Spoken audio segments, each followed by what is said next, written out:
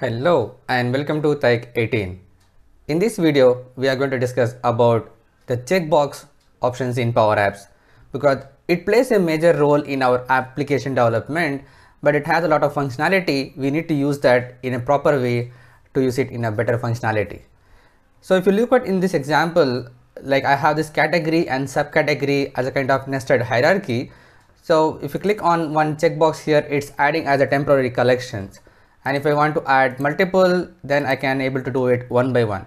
So what if I want to add the entire category itself? If I want to add entire component, if I click here, then all the components is going to add up here. And if I want to remove some single checkbox from here, then it has to remove from this temporary collections. And also if I want to remove the entire collections, then also I can click on here, then it's going to remove everything from here and it's only tick these options wherever we have these temporary collections available. This checkbox is ticked. If it is not then it is unchecked here. And also there are going to be no duplicates because if we select this one by one it's going to require only one value. And even after that if we click on this category then it's going to add only those values here. It's not going to duplicate those informations. So these are the things which we are going to cover in today's topic. How to add you can subcategory one by one bulk using a main category and how to remove one by one or remove using main category and auto tick mark based on this main category and also about no duplicates.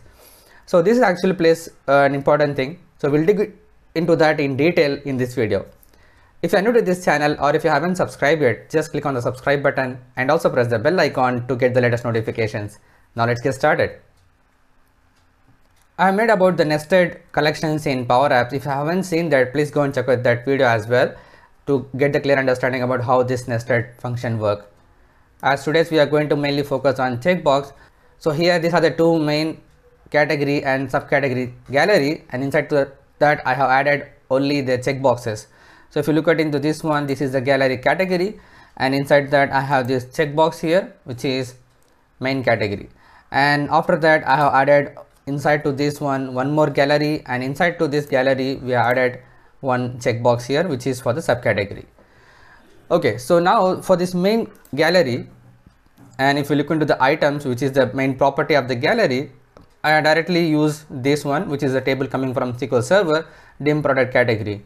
So we can make use of the collections as well but I have not used that here in this one.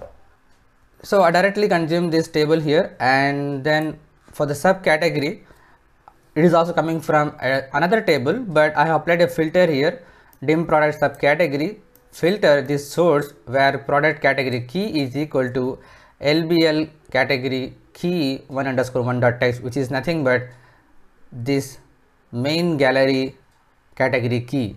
So I want to show only the subcategory available on this particular main gallery. So that's the why we applied the filters here okay for each and every gallery the checkbox the checkbox is basically csk main category. And for this text i use this this item dot product category dot name which is available on the table column. And now there are two major things which is on check and uncheck.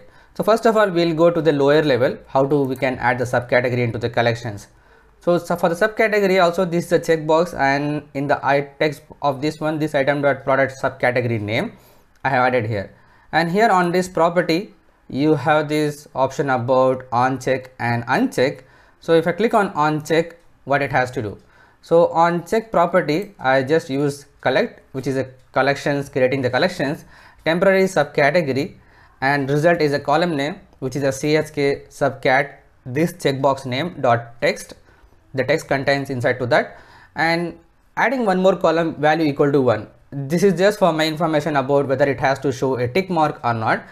And this is just for value 1 if you want to just add one column you can just remain it just in one column. It's going to add up only one column itself.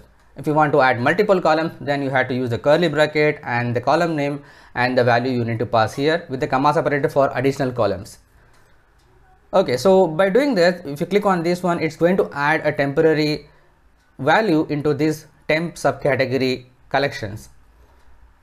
And the same thing we had to do it for uncheck as well. So if you want to remove something from here this is actually a challenging part.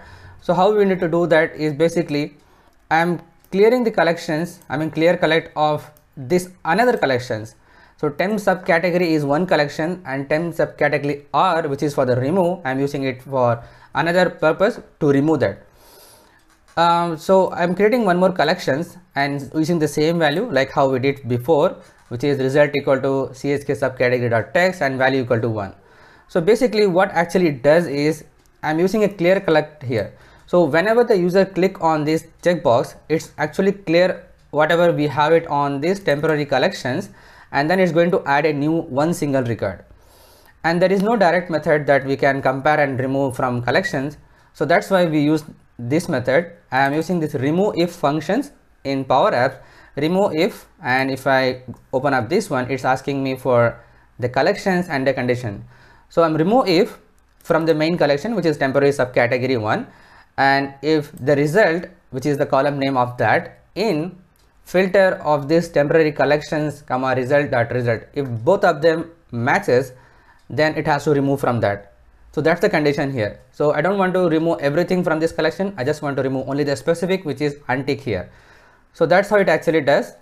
So remove if from the main collections the column name which is available on the temporary collection column name if both of them value matches then it's going to remove from that. That's a good thing. And the last thing what I need to do here is the default options. Default is basically whether it has to show the tick or not.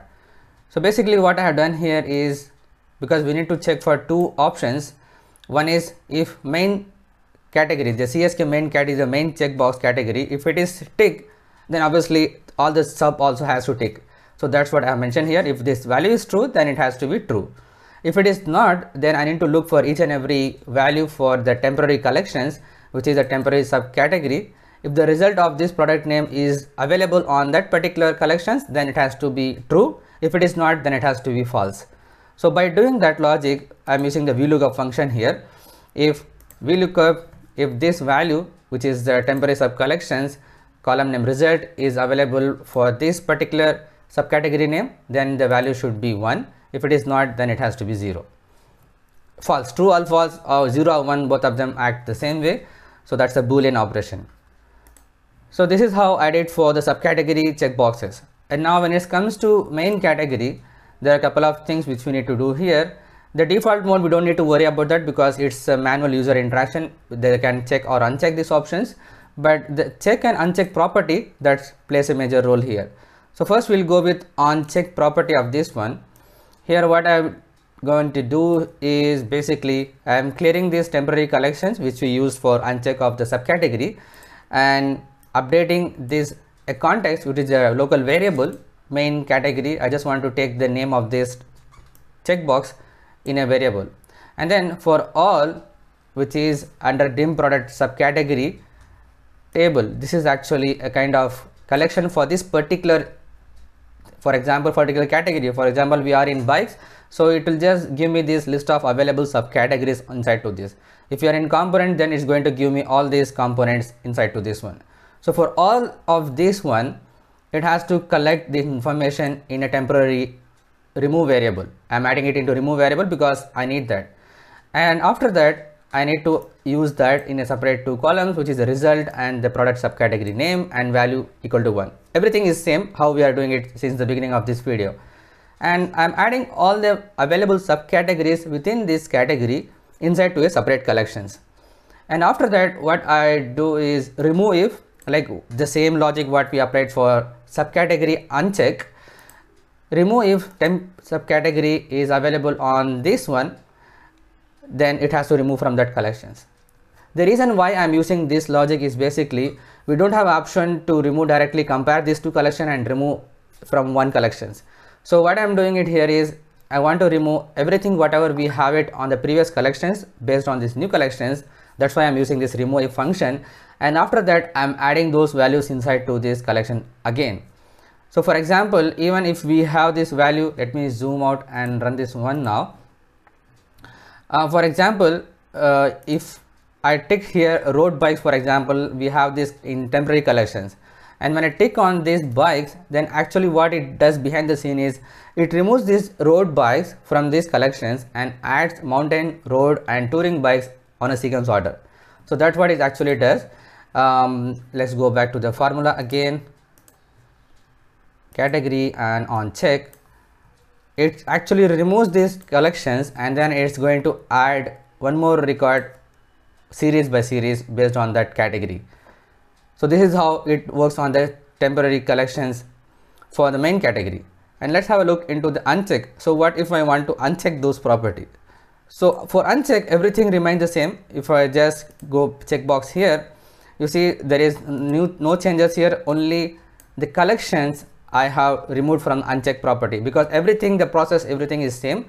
We need to clear the temporary collections. I am taking a local variable and then i'm declaring this for all for this particular main category i need the list of available subcategories in a separate collection. For all i'm doing it repeated kind of loop here. And then i'm using the collection to store it in a temporary remove collections. And after that i'm removing this from the main collections. So that's what it actually does. So now how it works on the duplicate part right? So as we are removing this collection existing before adding it into the new one so that's why the duplicates also get removed from here so previously i had similar issues where i was able to remove from this but it's actually not removing as expected so that's why i use this option about to remove first and then add it again so this is how you can able to work it out about the checkbox properties so if you have something more else uh, to explore on the checkbox in Power Apps or multiple checkbox options in Power Apps, please let me know in the comment section below. I'm happy to look into that in detail about it. If you're new to this channel, if you like this video, just click on the big thumbs up button if you're new to this channel or if you haven't subscribed yet, just click on the subscribe button and also press the bell icon to get the latest notifications. But make sure to turn on the notification on your devices. Share it with your friends and colleagues. If you have any queries and feedback, just post it on the comment section below. Thanks for watching. Keep learning. See you in the next video.